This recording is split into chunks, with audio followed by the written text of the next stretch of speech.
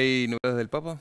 Sí, el Papa Francisco está de gira el día de hoy por dos ciudades italianas. Estuvo en Prato temprano, ahora está llegando a Florencia. Pero allí tuvo unas palabras muy claras en contra del trabajo eh, esclavo. En particular se refirió a los talleres clandestinos. En Prato dijo, quiero recordar a cinco hombres y dos mujeres de nacionalidad china que murieron acá hace dos años en un incendio en la zona industrial de Prato, que vivían y dormían en la misma habitación en que trabajaban, en un espacio muy pequeño. Fíjense la similitud del trabajo esclavo en diferentes países, ¿no? En Italia también sucede.